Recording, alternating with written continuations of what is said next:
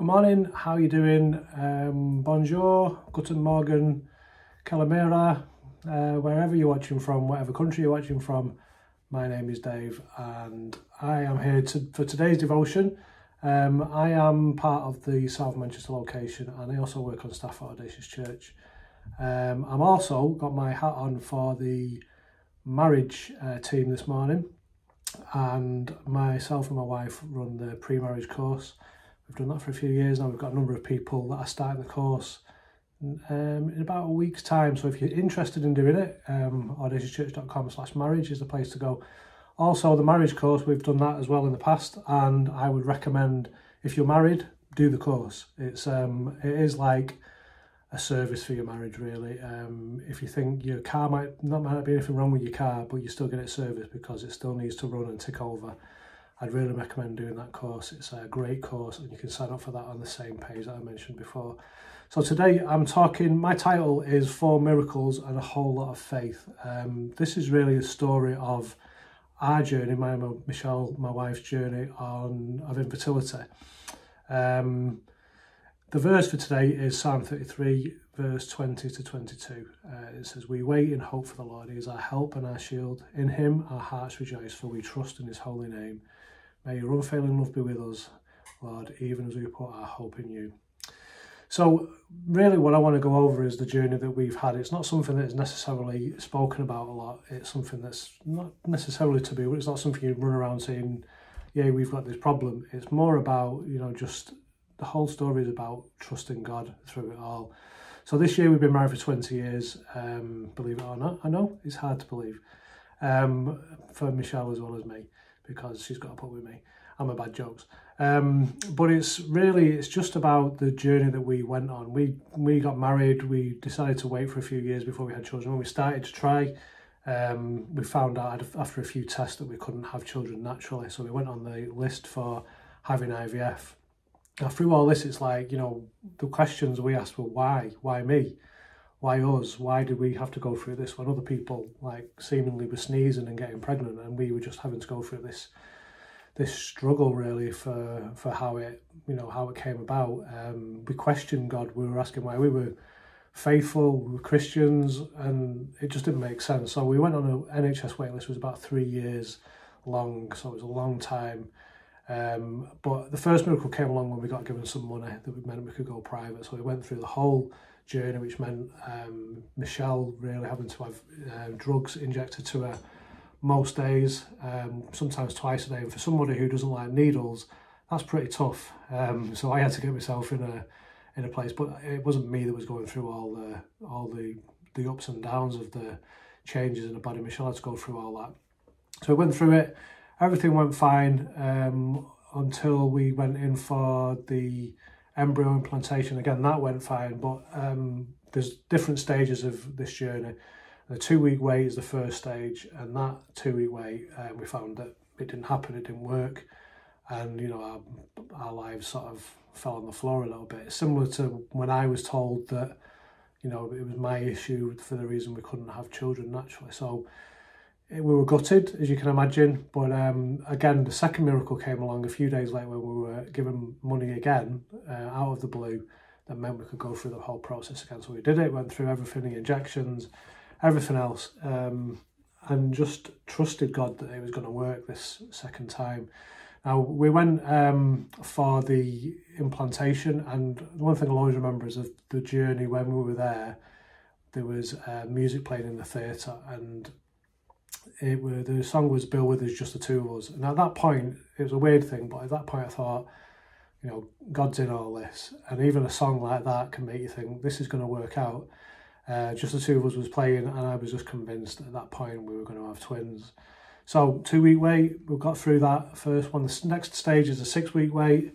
Again, we got through that fine. Then it goes on to three months, a 12 week, um, which is normally when people, you know, let everyone know that they're pregnant. Um, and at that point, everything was great. It was perfect. Everything was going well. I didn't tell everyone we were having, well, they knew we were having twins, but I didn't tell them what sex they were going to be. Um, so I wanted some surprise. I mean, you know, you got to have a little bit of a surprise, haven't you? So we got to 12 weeks, everything went fine. as it was going on uh, over the months, uh, Michelle started having signs of preeclampsia, which is you know pretty dangerous if it, if it all if things go the wrong way. And we were at our, our old church, and we were going to a life group that night, and Michelle fell down, fell down some stairs, um, landed on her stomach, uh, bounced back up again. Um, we so obviously we had to go to hospital. Um, the twins were fine, everything was good, but Michelle was kept in through because um, the blood results weren't great and the preeclampsia was getting worse. So she stayed in for a few days, and I remember on the way to church on the Sunday, I got a phone call from her saying they're taking them out, they've got to come out. Um, so the day after, um, seven weeks early, the we the another two miracles happened.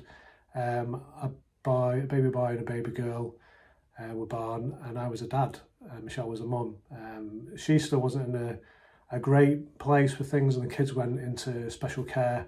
So again, a lot of faith, a lot of trust, a lot of prayers were going through, um, and it was just you know the whole journey was just like you know it was scary. You know these are the times where you really have to do have to trust God. Um, the kids then were after were let out after three weeks, which was a lot sooner than people thought. Again, you know that God's in it when things like that happen. And it was just, you know, it, the journey of it was just really, you know, it was a long journey. I mean, I, I can't imagine anyone could love their children as much as I love mine. I know they do, but the journey we went through to get there was so long and, and ups, ups and downs, but we got through it. When I think back on it, how did we get through it? There's only one way it would because God was there. You know, God was there through it every step of the way, and it was just you know when I you know it's it's proper emotional when I think back to it how we got through it. But um, as a you know the, the my children are they're 15 this year scarily. That's really scary. Um, Nathan, which meant, meant uh, gift means gift from God, and Mia means wish for a child, and they totally were and totally are. They are great young people. I love them so much. I'm thankful for them. And it was just great to go, you know, at the time it didn't make sense, but we know why we went through it because we, on the other side of it, know that everything we've been through has helped other people. There's people in our church that we spoke to about it, people in other churches, other friends that have been through the thing, and we've got the story to say, you know, you can get through it, you can do it, you can, you know, we've got the t-shirt, we've we've been there, our story has much more relevance to it. Um, and I know God was in it, and I know that that's why we went through it because we've been able to share our story with other people. So,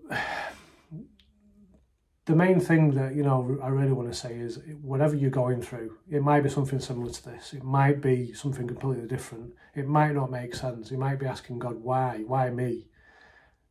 Just keep going keep on keeping on, keep doing it, keep going through it. God is there in it all. It's our faith and it's His provision, it's His love and our trust. And God came through for us even when we weren't sure if it was ever going to happen. There was one uh, story that just want to finish on, a poem that I really like that was that's called Footprints. If you've not heard it, I'm just going to read it. It says, One night I dreamed a dream. As I was walking along the beach with my Lord, across the sky flashed scenes from my life. For each scene, I noticed two sets of footprints in the sand, one belonging to me and one to my Lord. After the last scene of my life flashed before me, I looked back at the footprints in the sand, and I noticed that many times along the path of my life, especially at the very lowest and saddest times, there was only one set of footprints. This really troubled me, so I asked the Lord about it. Lord, you once said, you said once I decided to follow you, you'd walk with me all the way. But I noticed that during the saddest and most troublesome times of my life, there was only one set of footprints. I don't understand why, when I needed you most, you would leave me. He whispered, my precious child, I love you and I will never leave you, never ever during your trials and testings. When you saw only one set of footprints, it was then I carried you. So I hope this encourages somebody today. Hope this encourages you, whatever you're going through. Even if it doesn't make sense, it will make sense one day and you'll get through it. God is there and God is walking with you.